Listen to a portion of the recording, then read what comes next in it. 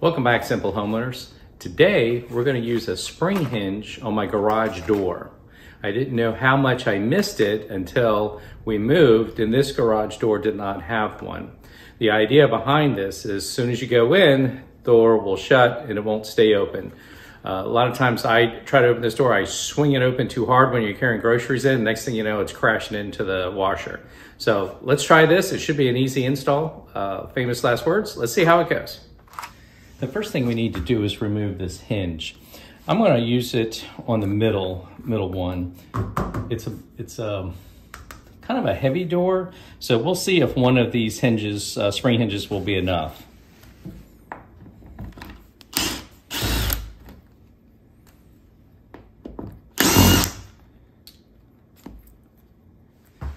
All right, here's the last screw.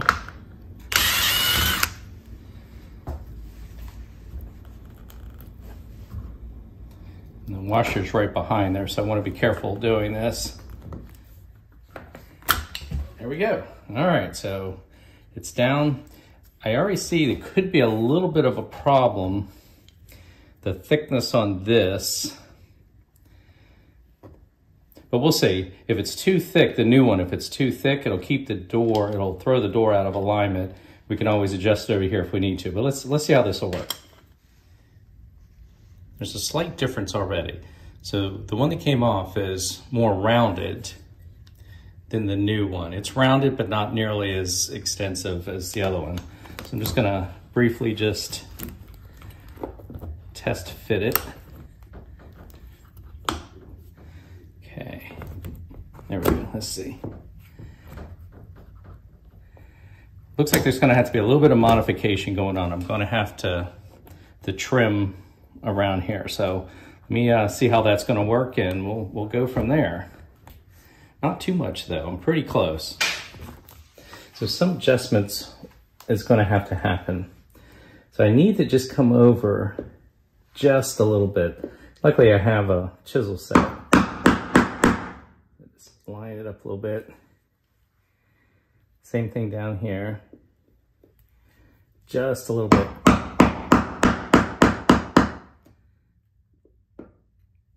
So let me work on this, trim this up, and uh, I'll show you how we're looking. So as you can see, I trimmed it up a little bit here. Fits in there pretty good. None of the screw holes match up. So I'm gonna drill those real quick. Just where it is, I'm gonna put a drill and put the screws in. And then I'll take care of this side. But uh, let me get some drilling going on here. We'll take care of that. I'm not gonna worry too much about the drill size as long as it's not bigger than the screws that they give you. So this is a 564 bit. So just gonna drill in here.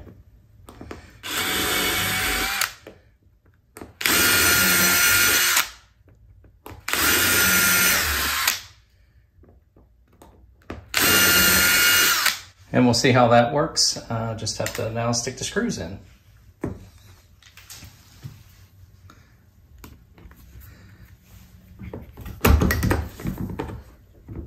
Just make sure it's lined up pretty good. Here's one.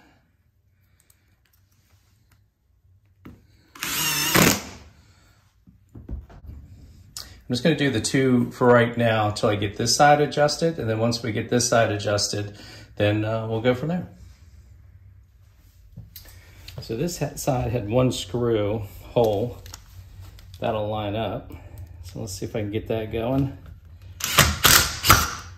Yeah, not too bad. All right, so I just need to now drill these other ones and uh, we'll, we'll go from there. Making some progress pretty good. So these holes might need to be a little bit bigger because it's going into the metal piece here. But we're gonna try it and see what happens. It comes with different type of screws, uh, wood screws and metal screws. They're not self-tapping metal screws, it doesn't look like, uh, or if it is, it's not very strong self-tapping.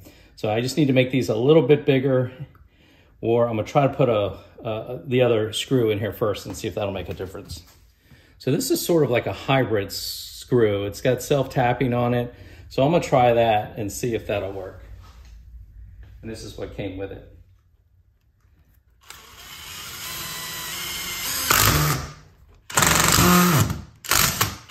Not too bad.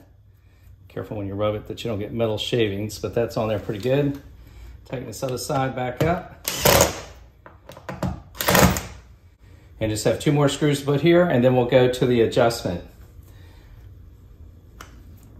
So what's very important, uh, and I did not do this here, uh, I've installed this upside down. And I, I can't believe I did that. But let's take it off, redo it, and uh, do it correctly. And I'll show you the mistake that I made. On this side, that's the bottom, there's no adjustment. Here's the adjustment. That's should have been up, and I knew that, and I still let myself not do it right. All right, well, at least the holes are already pre-drilled. Alrighty, we're getting close. One more screw, and then we'll show you how to adjust it. Okay, the hinge is now installed. Uh, now we need to adjust it.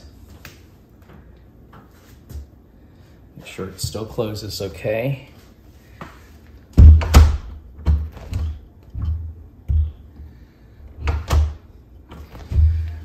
So the hinge has pushed it over a little bit, but it's not too bad. Uh, I could take this hinge off and make it a little bit deeper. Uh, that's what I was saying before, that this is a little bit thicker than the other one, but it's not too bad. So let's, uh, let's see how this will work. And if not, then I'll have to take this side off and adjust it. For adjustments, they suggest shutting the door and depending on which way you want the door, if you want it to go here or there, but for our application, we want the door to shut this way. So you put the Allen wrench right on top, turn it clockwise. So it's just not quite tight enough yet, so I'll turn it. There's a little pin there. So we open the door, see our tension. So you can see we open it.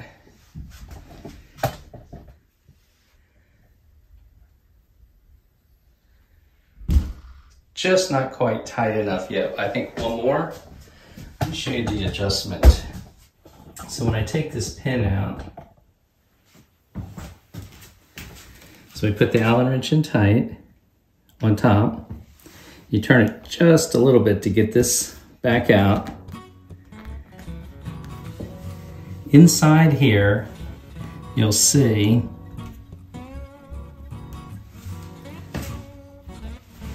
that there's another adjustment. See if that'll work. So just turn a little bit to loosen up the, the pin. See the hole there? It's got some tension on it for sure.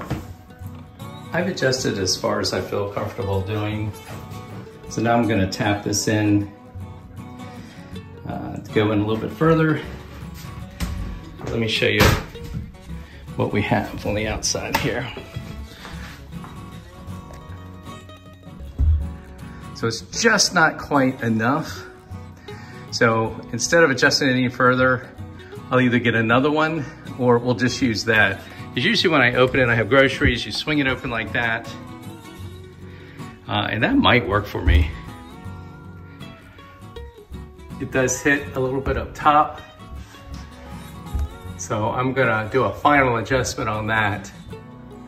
But I'm pretty happy with it the way that it is. And these things are about 20, $25. They're not hateful, but it's kind of a universal one. They have I think this was a four inch. They have three inch. So you need to measure your hinge, but it's not gonna be exactly right. So there will be some fine tuning adjustment. I fiddled with it a little bit more. Now when I open it, it will shut all the way. Now that's also with the laundry door open. Uh, when it's closed, when this laundry room door is closed, it creates more of a, it doesn't allow it shut as easy. Also, to bring the door over, what I did was changed out these screws with longer screws and they pulled it over more. So as you can see now at the top,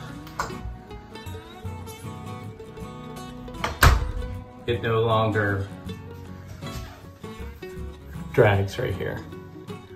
So there we go. I think I'll leave it like that, but if I need to, we can always add one more hinge. But this is what it looks like when it's done. It's not bad for a laundry room garage door, so there we are. So that's all I have for you today, Simple Homeowners. Thank you for watching. Appreciate it if you'd like and subscribe.